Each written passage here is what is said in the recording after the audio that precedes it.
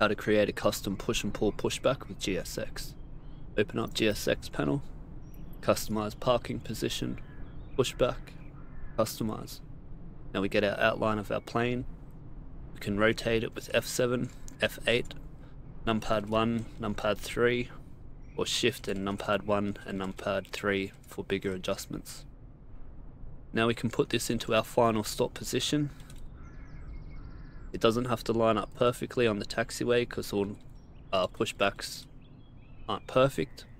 And now we create a custom pushback point. We press F6 and then F8 to bring up the outline of our plane. We rotate it and then move it with the arrow keys. Now we create another custom waypoint because we need to work backwards. So our first waypoint, press F8 to bring up the outline of the plane. And you can see the green arrows and the red arrow. The green arrow is the pushback and the red arrow is the pull. So we can get our arrows to line up a little bit here.